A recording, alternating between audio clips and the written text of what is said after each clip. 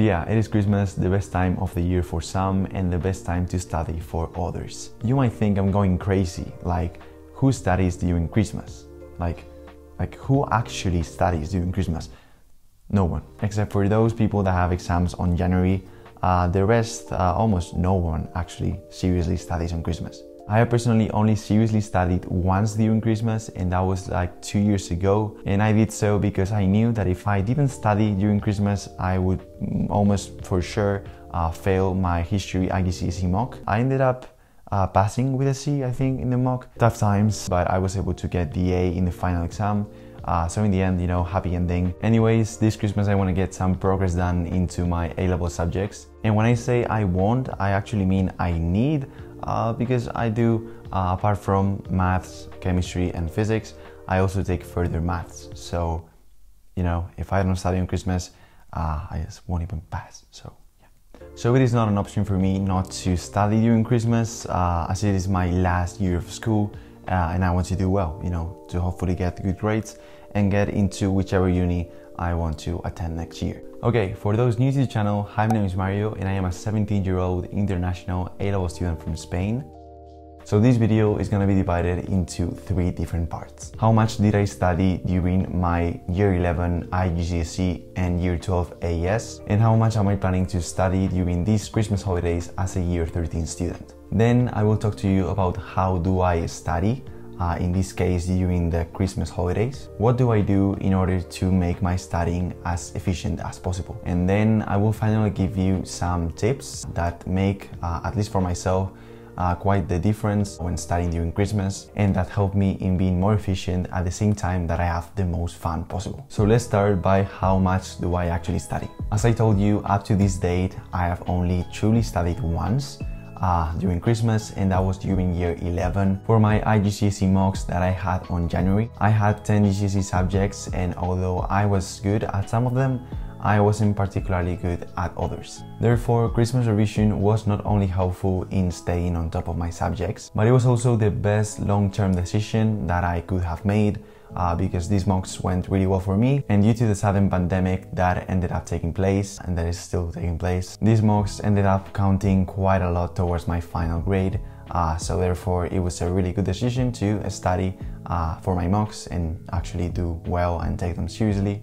In year 12 last year, I really didn't study uh, as such. During the winter break, I did do some homework that I had been assigned and I also did some past papers, but I wasn't too strict with myself because I didn't have any rush. My mocks were on March. For my A levels, I have mocks in March, uh, same as this year. So therefore, I had two months to prepare for those mocks, so I didn't really uh, take Christmas break as seriously as I could have done the previous year when I had my IGCSE mocks on January. So this year for year 13A2, my Christmas holiday studying is aimed at a whole new level. I need to do so much uh, and when I say so much, I am not lying. Here you have the to-do list that I made for myself uh, for this winter break. I already take for granted that I won't uh, accomplish all of my tasks. I like to think of it such that I do as much as I can uh, and that it's not that I am losing for not reaching my goals. It is about doing as much useful uh, work as you can possibly do so that when you come back to school after the holidays, you feel in a good academic shape so that not much effort is required to go back to your uh, normal rhythm after Christmas holidays. Now let's go to part two of the video how do I actually study during the Christmas holidays? Do I follow any specific technique or uh, schedule? The first thing that I recommend doing uh, once you start your winter break is uh, making a to-do list with all of the tasks that you could imagine uh, you could do. Imagine you had all the time in the world and write every single thing that you could do to become better at your subjects. For example, I did this myself and you know, it is quite a long list uh, to be honest and I won't do all of them for sure, but I can have an idea of what can I do if I feel like I don't have anything to do. I can see the to-do list and say, okay, I can maybe do this because maybe I prefer doing this instead of this right now. It is a way to make sure that you have specific tasks that you have to attempt uh, during this time. Secondly, try to distribute all the tasks that you have come up with uh, in the first step and uh, just distribute them throughout your days uh, of holidays. I personally use Google Calendar for this uh, so that I can have it in my laptop, I can have it in my phone, I can have it uh, in my iPad, and I can see at all times uh, when should I be doing something uh, so that I can be reminded of that. But please try to be realistic because things will come up.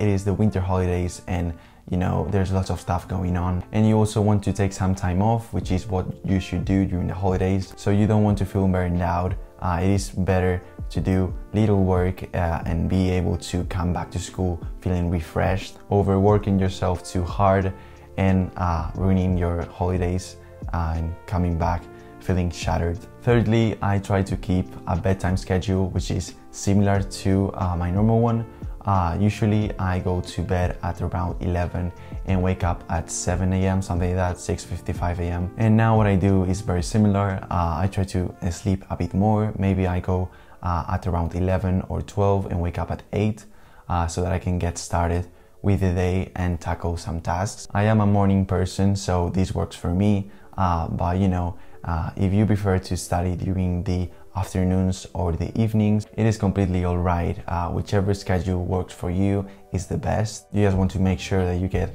sufficient time into your subjects, into your work, so that you can actually get some progress done. And uh, yeah, and that's it doesn't really matter uh, when you do that or how long are your study sessions. So it doesn't really matter if you do it in the morning, in the afternoon, in the evening, uh, if you take uh, very short sessions or you do very long ones, whichever thing works for you is the correct one. Just trying to make sure that you get sufficient time into it and that you feel satisfied with your work. Now, my mindset during winter break is that I first need to uh, sort my things out, to organize all my subjects, uh, to be able to then uh, study intensely on them. For example, these holidays I am planning to first uh, make sure that I have all my flashcards uh, for chemistry in Anki. And once I have them all, I will get to revise them uh, and I also get to do some past papers. But first, I want to make sure that I have everything inside my system so that I can get started. Uh, in the end, organization is the pillar of studying. If you don't have any organization, uh, you're just gonna miss out on the real studying. Uh, it's just gonna fall apart. I try to think that academic breaks are meant for sorting things out and refining your knowledge.